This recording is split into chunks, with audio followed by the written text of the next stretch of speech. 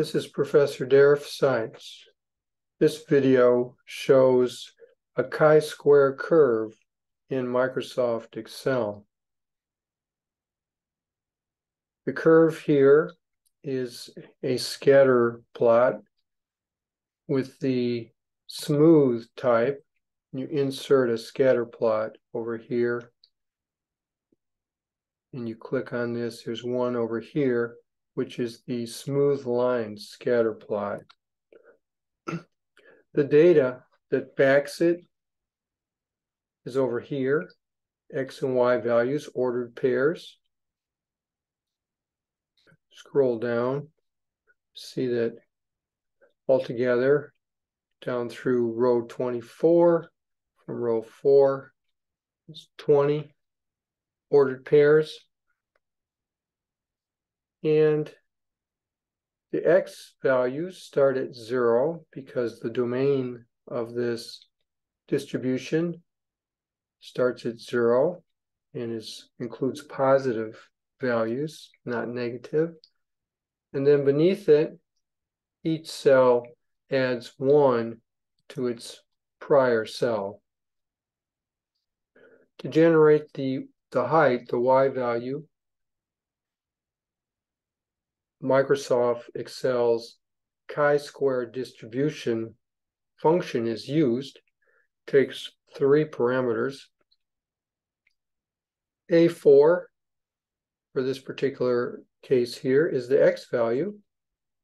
And as we move down, you'll see that everything is the same except for the x value changes as we move down on the ordered pairs and dollar B dollar one, that's an absolute cell reference, not relative.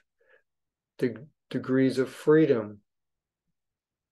Different degrees of freedom result in different curves. And the last parameter is set to false in order to get the probability density function shown here. There's a comment that the mode or the high point on the curve occurs over degrees of freedom minus 2 when the degrees of freedom is greater than or equal to 3.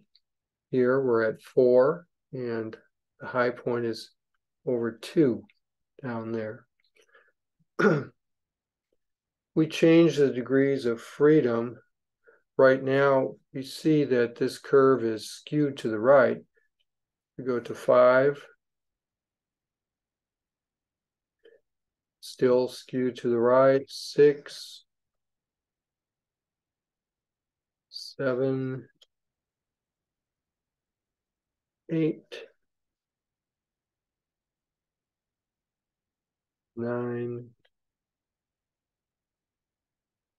ten,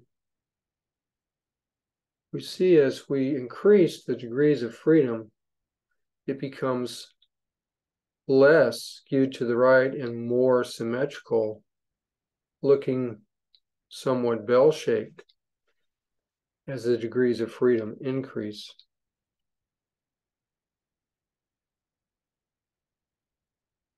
And the, we'll put it back to four, the chi-squared curve the distribution always uses right-tailed test. That's its focus.